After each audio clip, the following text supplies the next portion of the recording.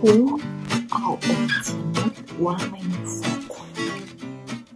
La începuturi, indienii nu aveau foc, dar știau de existența lui pentru că de pe insula tribului nevăstuicilor, uneori vedeau ridicându-se nori de fum.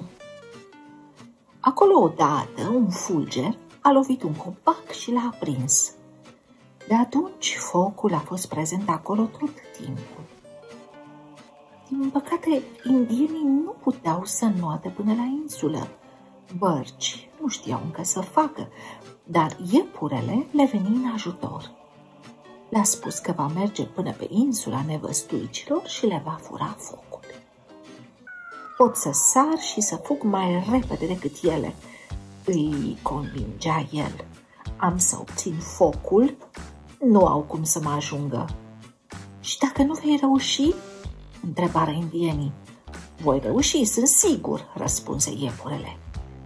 Ce vrei drept răsplată pentru ajutorul dat? întrebă șeful tribului. Să nu ardeți niciodată pieile de iepure, să le onorați purtându-le mereu. Așa va fi, în cuvință tot tribul. Iepurele își unse capul cu ceară și porni la drum. Nevăstuicele l-au primit cu alai și sărbătoare și l-au invitat la un dans în jurul focului. Iepurele atât aștepta. În timpul dansului se apropie din ce în ce mai tare de foc până când focul cuprinse ceara de pe capul lui. După care, cu focul pe cap, o luă la fugă. Nevăstuicile degeaba îl urmăriră, nu reușiră să-l prindă. S-au adresat pentru ajutor primelor spirite să stingă focul hoțului.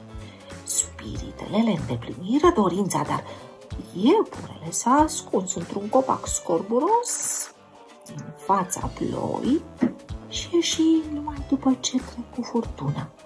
S-a întors în tabăra indienilor și le înmână focul care, începând de atunci, nu se mai stinse.